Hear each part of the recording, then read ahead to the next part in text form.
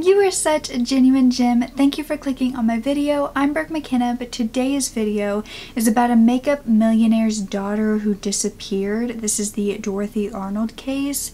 Now, this was a young girl, an innocent day, and a mysterious ending. What happened to her? No suspects were ever found, and neither was she.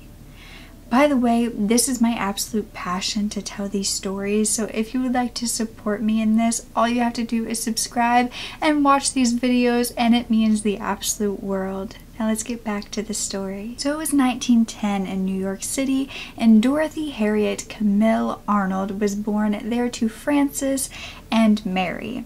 Now, she was the second of four children. She was born into an extremely wealthy family, and her father, Francis, was a Harvard graduate who eventually became senior partner at the F.R. Arnold & Co., which was like a fancy goods importing company, and they would sell things like perfume and makeup and made millions of dollars doing so. Now, the Arnolds were so wealthy that when Dorothy was born, her name was instantly registered on the social register. Now, if you're like me and have no idea what that is, it's basically a published list of people in high society. And she was instantly put on it as a child just for being in the Arnold family. Dorothy was a happy and funny and smart and fashionable girl who attended the Veltin School for Girls before heading to Bryn Mawr College for Literature and Language. She loved to write. She loved anything to do with English. She fit right in with the high society, the extravagant parties. It was just part of her nature. She just naturally, she grew up in the situation and she thrived in it. And in 1905, she graduated college and she would go live back with her parents and continue her writing career. So at 108th East 79th Street, this 5'4 beautiful woman was typing away, working towards her career that she would love. However, their luck was about to change because on December 12th of 1910, Dorothy would go missing. That day she had left and gone to the shops because she was going to pick up a dress for her sister Marjorie's debutante party that was coming up. Now her mother would offer to go with her, however her mother had been very sick and often didn't leave the house because of this, so Dorothy told her, it's fine, you stay here, I will call if I find anything. And so at around 11 a.m., Dorothy headed out with about 25 to $30 in her pocket, which around this time would be about 600 to $800 and she headed down the street to buy her dress, to do a little bit of shopping. However, she would never return home. And when her family and friends caught wind that she could possibly be missing, her parents called everyone they possibly knew, and no one knew where she was. This would be the first of Dorothy's parents' strange behavior because Dorothy wouldn't be reported missing, not even the day after. It's not like they just waited a day, they waited six weeks. And this was said to be because they didn't want to, you know, have a whole bunch of media attention if they weren't 100% sure that Dorothy was missing. They didn't want to be embarrassed if she came home the next day and they made a huge deal about it. So they were just going to wait to see if she came home. However, they didn't just sit there and do nothing. The next day they called a friend and lawyer named John S. Keith and he would come over and search the house, search her bedroom to see if he could find anything that was misplaced or looked out of place and that could connect to where she had gone and really nothing was gone from her bedroom besides the clothes that she wore that day. In her bedroom there was also personal letters with foreign postmarks on her desk and there was two folders for transatlantic streamliners that were sitting there as well and there was also papers that had been burned in her fireplace. Now, at this point, John was doing his own search around jails and morgues and hospitals, seeing if he could locate her. However, after weeks of doing this and coming up with nothing, John finally suggested that they go to private investigators. John, this entire time, had kept it from the media. However, he knew that he needed more help than what he could provide for them. Private detectives were called Pinkerton detectives at this time, and John told the family, look, you need to locate them, you need to hire them so they can help you a little bit further and he got in contact with them. And the Pinkerton detectives they searched hospitals and areas where she frequented and they also talked to friends and family and questioned them. However even they could not find anything to do with her whereabouts or really any more information than John could and at this point, they actually said, look, you need to go to local police because we're not finding anything either. Police found that that year that Dorothy went missing, she had actually been writing short stories and trying to get them published in local magazines. She went to the McClure's magazine and she sent in a short story, however, it was rejected. And after this, her family actually gave her a lot of grief for that, saying that she should basically give up and that they would never be good enough to be published in a magazine and this really just knocked down her confidence and and she got a post office box that was away from her home so she could get the letters from these publishers in case she was rejected so she wouldn't face any scrutiny from her family anymore. And at one point, she even asked her father if she could have an apartment in Greenwich Village to do some writing. And her father said, No, a good writer can write anywhere. But in November, just a month before her disappearance, she had actually sent in another short story called Poinsetta and the Flame to the same magazine who rejected her once again. During this time, Dorothy also began to get close with another wealthy child named George Griscom. He wasn't really a child. He was still living with his family as well, so they had a lot in common and they began to get really close and even went using their parents' money and kind of pawning off things that were their families to get some money. They went on a trip to Boston for a week together that Dorothy's father did not approve of whatsoever. Four days before Dorothy's disappearance on December 8th, she spent the entire day with Marjorie addressing invitations for her debutante party. And then the next day, she went to the Metropolitan Museum of Art and took $36 out of the bank. However, the day after that, she went to the city. She began looking for her dress. She also attended a matinee with some friends, had tea at the Waldorf Astoria, and possibly lunch at Sherry's with them as well. On December 11th, the day prior to her disappearance, she stayed home the whole day. She'd been doing a lot, and I'm sure she just wanted to get back her energy and to just have a me day because then on December 12th she would leave once again to go look for this dress that she still had not found and the day that she left she was actually wearing a well-tailored suit with a blue serge coat and a tight hobble skirt and a matching color. She was also carrying a huge silver fox muff and a satin handbag. She wore a black velvet hat with two blue roses and a scalloped lace on it. Now when her mother offered to go with her, she answered with, no mother, don't bother, you don't feel just right and it's no use going to the trouble. I mightn't see a thine I want, but if I do, I'll phone you. So in the icy winter of New York City, Dorothy actually walked 20 blocks from 79th Street in order to get to a chocolate store called Park and Tilford and she got a half a pound of chocolate and she charged it to her family's account. The cashier didn't even have to ask her name. That's how much they frequent in this store. They had this account and this cashier said that she saw Dorothy put the chocolate in her silver fox muff and head out. It was noon now and 32 more blocks of walking would land her at 27th Street where she was going to the Brentano's bookstore.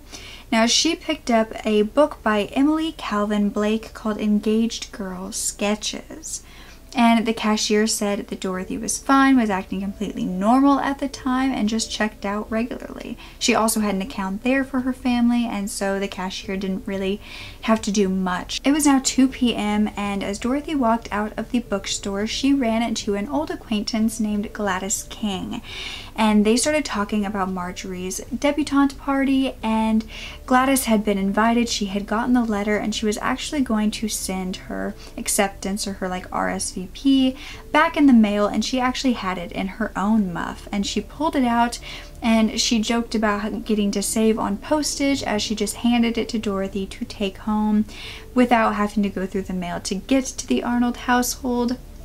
And they spoke for a while and dorothy was said to be in very good spirits and then gladys was actually the one who said oh i'm meeting my mother at the Waldorf Astoria to have some lunch. I'm gonna have to go and dorothy said she was going to head home through central park so they kind of both parted and Dorothy actually looked back a second time to wave at her friend and that would be the last time anyone would see Dorothy. It was said that Dorothy disappeared on one of the busiest streets at one of the sunniest hours with so many men and women and children at arm's grasp away from her and that officers were on all sides of the street that somebody would have seen anything and yet nobody did. Just after midnight that evening, she disappeared, so it had just turned midnight and gone into the 13th.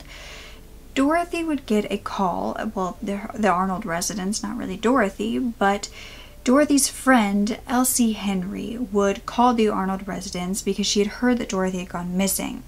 because, of course, Dorothy's family had been calling her friends to see where she was. And so Elsie called and said, Has Dorothy come home yet? And Dorothy's mother picked up the phone and said, Yes, she's home.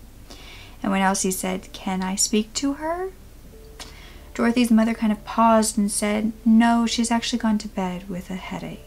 When her family then contacted the lawyer John S. Keith, John was actually not very much older than Dorothy, in fact, only a few years, and had often escorted Dorothy to several of the high society dances.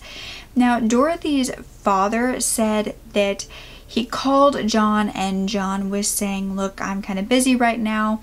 Do I need to come right now or I'll just come later? And Dorothy's father said, No, it's urgent. This is serious. And so John decided to go and he searched her bedroom. And when they found the ashes of paper in the fireplace, Dorothy's father said, Oh, it's probably just from a rejected manuscript that Dorothy burned. Now, when the Pinkerton detectives were on her case, they thought that maybe she had eloped with a man in Europe because there was a Streamliners folders on her table and they looked into marriage records and they could not find any sign of Dorothy's name on any of these marriage records and they would search for her but they found women looking like her but not Dorothy herself. So six weeks later they would be reporting her missing finally to the actual police and investigators immediately ordered a press conference on January 25th of 1911 where this would be done outside of Francis Dorothy's father's work, and he would immediately say that there was a $1,000 reward for any information regarding her whereabouts. However, he did believe his daughter was dead and that she had been spotted walking home through Central Station or through Central Park and had been tossed in the reservoir. Reporters began to ask him if he had any sort of belief that his daughter was still alive and that if he believed she could possibly still be with a man. And then they started to say things like, because you didn't let your daughter date, because she could never have boys over, and just kind of jabbing at him for his parenting style. And at this point, he said, It's not true that I have objected to her having men call the house. I would have been glad to see her associate more with young men than she did, especially some young men of brains and position, one whose profession or business would keep him occupied. I don't approve of young men who have nothing to do. Now, he was really getting angry at this point because the press only seemed to care about Dorothy's personal life, and they wanted to know if there was a man behind this angry statement saying, you know, that he didn't want Dorothy to be with a man who had nothing to do. And there, in fact, was a man that he was talking about, and that was 42 year old George Griscom that we talked about earlier, that she was in kind of a sort of fling relationship with. And the family disapproved of Dorothy and George's relationship so much, and yet they continued to have one. And because of this, investigators began to look into George, who went by Junior, to see if he could possibly be a suspect. However, Junior was on vacation in Florence, Italy with, with his parents at the time, and could not have gotten back in time. However, they had been exchanging letters the entire time he was away, and Dorothy wrote one to him saying, The magazine has turned me down. Failure stares me in the face. All I can see is a long road with no turning. Mother will always think there was an accident.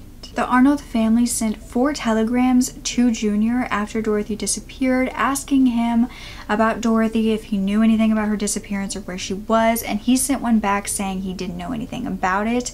And also around this time, they, the Arnold family, actually traveled to Italy to talk to him in person, and they asked him for the letters. However, he said they have they had nothing important in them, and he had burned them. Junior told the press that he had planned to marry Dorothy when he got back from the vacation, as long as her mother approved of it, because obviously he wasn't going to get his her father to approve of it. But over the next few months, Junior actually spent thousands of dollars in newspaper ads talking to Dorothy to see if she would come forward, knowing that he was looking for her. And she, when she never did, he had to move on with his life. But a witness at the hotel that Junior was staying at in Italy came forward saying that he had seen a young man and a veiled woman at this hotel with Junior, and it was said that the woman appeared agitated and almost looked like Dorothy. They all left together with a pack of letters, and then one witness said that he had been near Junior when he was opening a letter from the Arnolds and he muttered under his breath, Arnold is making serious trouble. However, no evidence could ever be found to link Junior to any sort of crime. And then it was found that the veiled woman was actually Dorothy's mother and the man was Dorothy's older brother who had went to spy on Junior to see if Dorothy was actually coming to him. The police heard Francis's theory about that his daughter had possibly been thrown in the reservoir and they looked into this. However, it was found to be frozen at that time and she couldn't have been in there, but when it did thaw later on, they did go and search it and found nothing. But investigators strongly believed that Dorothy was alive and she would come home. They even sent out descriptions and the missing persons posters all throughout the United States, and this led to many tips, but none that led to Dorothy. The New York Times also stayed on top of this case as well and gave daily updates, which is probably what led to the Arnold family getting two ransom notes that were saying for $5,000 Dorothy would be returned to them. However, both of those turned out to be a hoax and there was also a rumor that Dorothy had been found. However, this was just a rumor unfortunately. In February of 1911, Francis got a postcard signed from Dorothy from New York that said, I am safe. However, this was said to be in her handwriting, but Francis believed that it was just copied by someone who saw some sort of signature or handwriting of Dorothy's in the newspaper, and he didn't believe it whatsoever.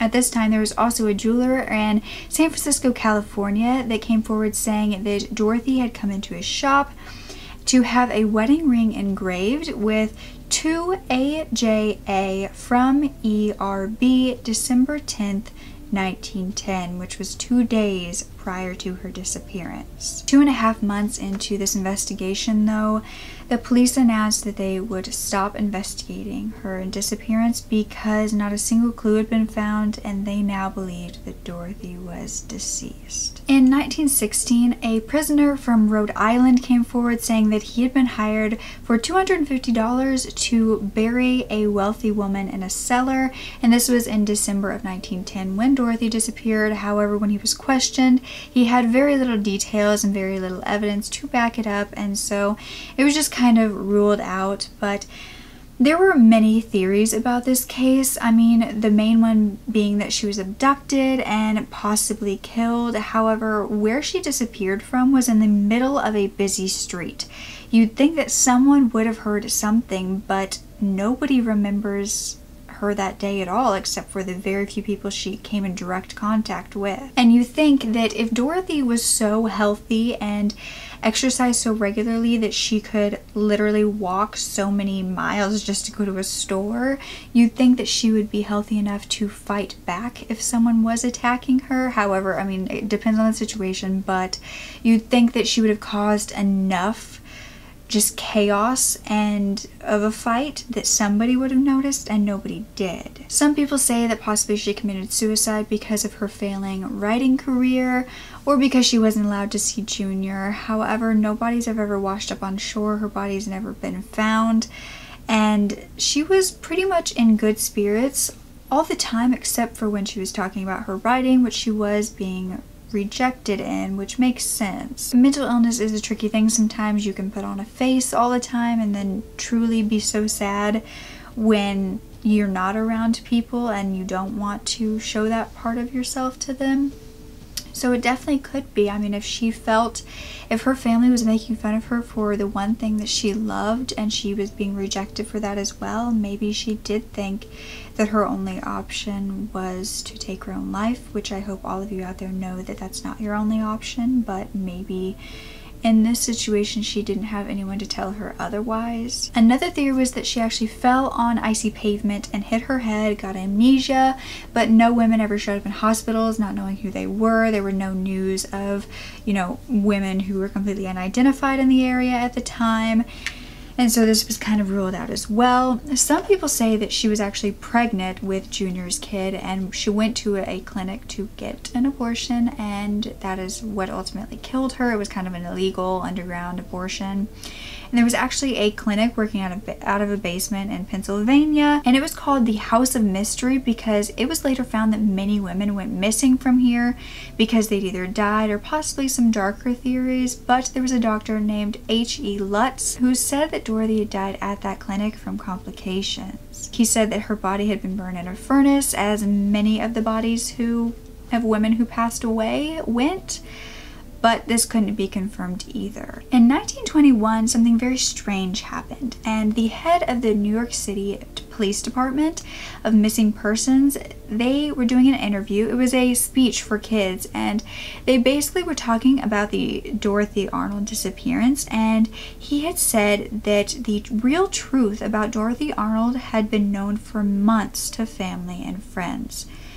And when this was asked to be elaborated on later on, He's denied saying that and said, oh, it was just a mishap and I didn't mean to say that, and refused to admit what he had said. 25 years after her disappearance, on December 11th, 1935, there was actually a tip called in saying that Dorothy had been spotted on 5th Avenue and 53rd Street but investigators immediately swarmed the area and searched and found nothing. Now, this was a day prior to her 25th anniversary, so this could have just been a hoax, somebody who knew about this disappearance and wanted to get back at the Arnold family or wanted to, you never know, that people are strange and that could have been the reason why. Or, I mean, it could have been Dorothy herself 25 years later going back to the place that she ran away from, if it was maybe just a runaway. And this is where her case ends. Dorothy Arnold has never been found and no one knows what exactly happened to her that day, or at least no one has come forward with that information. But what do you think happened? I mean, unfortunately, I do think the suicide theory is something that could be plausible. She was struggling with her career, with her family, and her family didn't even want her to be with somebody she loved, and all those things stacking up against her could have possibly led to that. I don't want that to be the truth, but I do think it could be. It is strange that nobody found her body. However, if she did walk so many blocks just to go to a store, maybe she walked so many blocks so nobody could find her body. I almost do just have this strange feeling about her family. Now, I know that wealthy people can be very weird about press, about their personal life getting out, about their status and how people perceive them. But it's just strange to me that not only did her family wait six weeks to report her missing, but they also told one of her friends that she was home when she wasn't. And I don't know. Maybe Dorothy did get home that day and an accident occurred with her family or maybe even a murder and they covered it up from there. And maybe they covered it up and they went through their lawyer friend first and then the private detectives to make sure that they covered it up well before going to the actual police knowing that they could get away with it at that point.